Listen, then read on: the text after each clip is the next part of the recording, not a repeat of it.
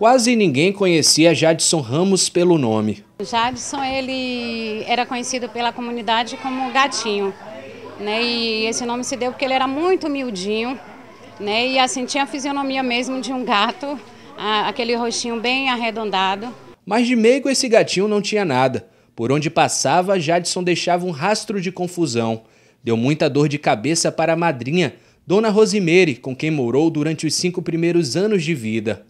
Ano passado só tinha queixa. Era, era no colégio, era em casa, era na rua, era dentro de casa, toda hora os irmãos vinham aqui me chamar. As travessuras rendiam intervenções. Esta cadeira não traz boas lembranças para o garoto. Era lá onde ele ficava de castigo quando aprontava na rua. Situação superada com a mudança processual de comportamento. A transformação começou quando Jadson ingressou no projeto Carater do Saber, desenvolvido por policiais militares da Base Comunitária de Segurança de Rio Sena, no subúrbio ferroviário de Salvador.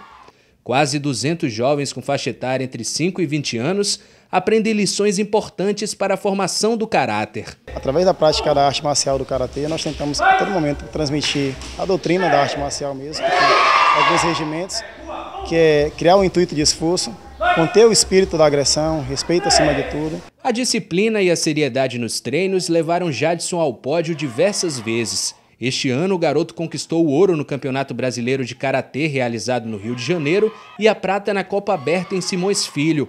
As medalhas e troféus ficam expostos em casa, um orgulho para a família. Qualquer mãe ficaria orgulhosa, não só por ser campeão, mas pela transformação de vida dele, né?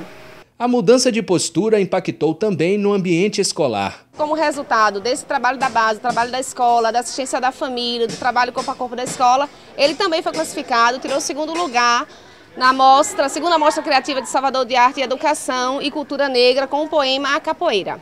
Para quem já errou e acertou tantas vezes, o aprendizado foi importante para construir uma certeza. Me antes um menino que parecia que não ia ter futuro, e agora, com Karatê, estou mostrando outra coisa.